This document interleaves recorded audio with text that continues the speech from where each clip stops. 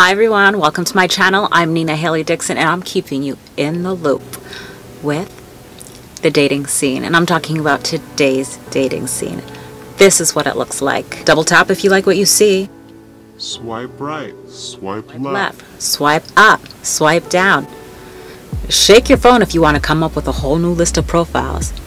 This is what New Age dating looks like today in this era.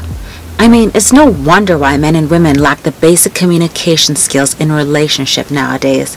And when I say relationship, I'm speaking of all levels, whether it be professionally, friendships, which is your personal relationships, or relationships with your coworkers.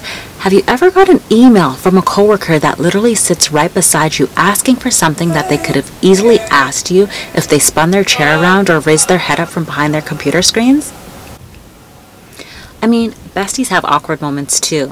When you haven't had a disagreement in the five years that you've been friends, and suddenly that day comes where you disagree, and nothing is said, and the cycle begins. And then there's the boyfriend and girlfriend relationship. Have you noticed that some men and women have the courage to say things via text that they probably wouldn't have the courage to say in person, such as ask someone out on a date or really get to know them? What happened to the valor? Where's the romance? And what happened to those cute moments where we used to wonder how soon was too soon to call? The excitement just isn't there anymore. I mean, I have a million and one people that I want to communicate with on each of these levels, whether it's business or pleasure. There's something to be said about connecting to someone to talk in person or over the phone.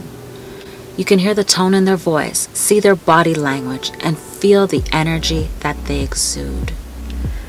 My advice from my personal experience is to pick up the phone and call. This way, your attention is focused on them and it makes each relationship and experience meaningful in its own way. There are at least five people that I speak to on the phone every single day.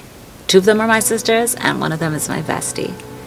For those of you that are dating, this is a great way to tell if someone is really into you. So rather than an emoji or some weird dark pic of a body part that you had to hide to take a snapshot of, be bold and tell that person how you really feel about them. If they're willing to make the time to connect to you through avenues other than text or email, then I think you're already ahead of the game. Keep in the loop.